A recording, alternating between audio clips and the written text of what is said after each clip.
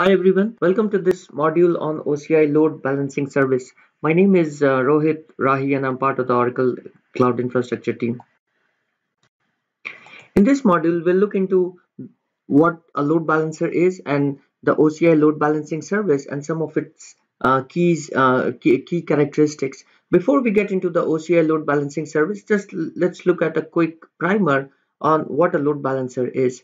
Uh, as it's shown on the slide, a load balancer sits between the clients and the backend and perform tasks such as service discovery, health checks, and decides what kind of algorithms is used to balance requests across the healthy backends. So if you see here uh, in this uh, graphic here, there's a load balancer sitting between the clients here. And there are backend servers here and the first thing load balancer does is it does a service discovery. It figures out what backends are available in the system. How should the load be load balancer talk to them? It does a health check making sure that these servers are running. If a particular server is not running it takes it out of uh, the rotation etc uh, what are the key benefits of using a load balancer? The first key benefit is fault tolerance and high availability. Using health check and the various load balancing algorithms a load balancer can effectively route around a bad or overloaded uh, backend. So if this backend is not working, requests are still coming in. Load balancer can can route it to a healthy uh, backend. The second big benefit is a scale. Uh, well, the whole idea of using a load balancer is to get higher throughput, uh, minimize response time, and avoid overload of any single resource, right? Uh, and then load balancer also does things like naming abstraction. Name resolution can be dele delegated to the load balancer. Backends don't need public IP address, for example, right? Uh, that uh, load balancer, if it's a public load balancer, it can do uh, the naming uh, abstraction. Now let's look at the OCI load balancing service and some of it, some of its key uh, characteristics. The first is, of course, OCI provides load balancer as a service uh, to, to give you the scale and HA required for your applications. We have a choice of public and private load balancers. Different protocols are supported. Uh, of course, TCP, uh, also HTTP, uh, uh, even the newer ones like HTTP slash 2 WebSockets. So the same ba load balancer does both TCP and HTTP. Unlike some other cloud providers, you really don't need two different uh, flavors of load balancer, two or more different flavors of load balancer uh, to to handle your TCP and HTTP request. Uh, a lot of uh, SSL functionality is uh, is covered, whether it's SSL termination, end-to-end -end SSL, uh, things like SSL uh, tunneling. we also support advanced features such as session persistence and content-based routing. some of the key differentiators are, well, we have a public load balancer and you get a public IP address with it. Again, this is different than some of the other cloud providers where you just get a CNAME uh, we when you provision a load balancer you get a choice of shapes. So think about this as sort of a provision capacity. Uh, so you can provision for 100 mbps uh, sort of a small load balancer a medium load balancer 400 mbps and a 8 uh, gbps. The idea is you really don't have to pre-warm your load balancers. If you provision a shape uh, you uh, according to your according to the load you are going to get uh, your load balancer can handle your request. You don't really have to pre-warm uh, your load balancer if you get start getting a lot of load. Uh, and like I said, you know, there's a single load balancer for both TCP uh, layer 4 and layer 7 traffic. So let's look at uh, the OCI public load balancer and let's see how some of its key components work.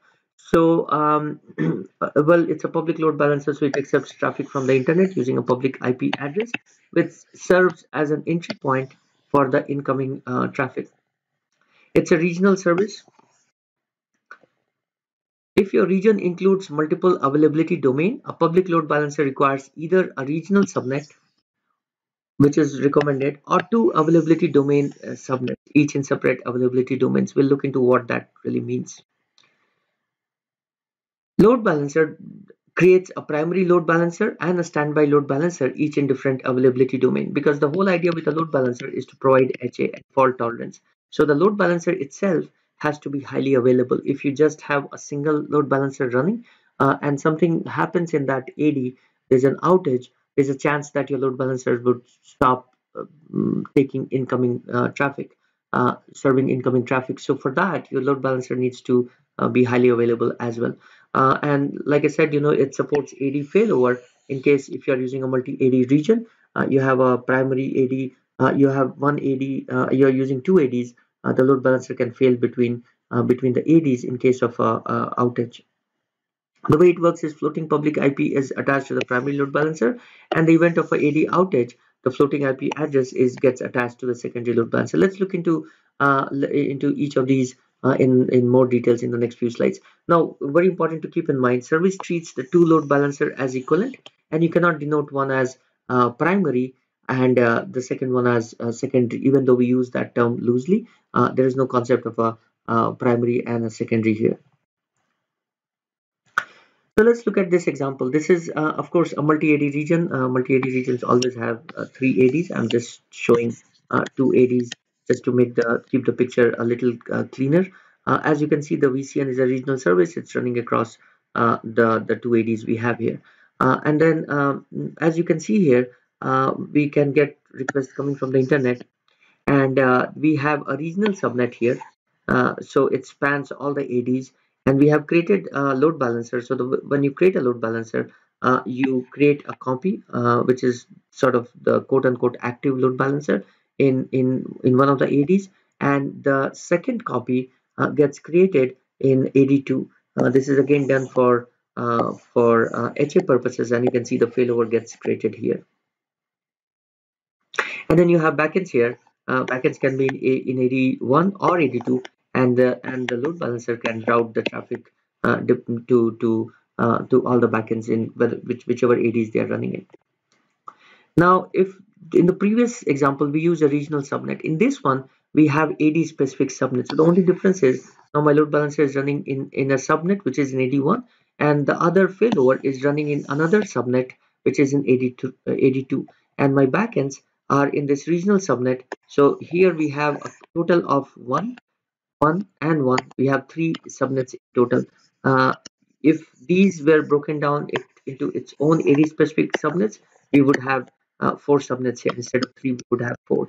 In the previous example this was a regional subnet and this was a regional subnet as well. So instead of four we just needed two um, regional subnets. So again depending on whichever requirement uh, where you want to design your uh, application you could either go with AD specific subnets or you could go with regional subnet just keep in mind for a public load balancer we do uh, recommend that you use a regional uh, load balancer or you use a regional uh, subnet so let's look at some of these uh, concepts in in a little bit more detail so the first thing is listener uh, which is the component which checks for incoming traffic on the load balancer's public uh, IP. So as we said, this is a this is a public load balancer, so it has a public IP address.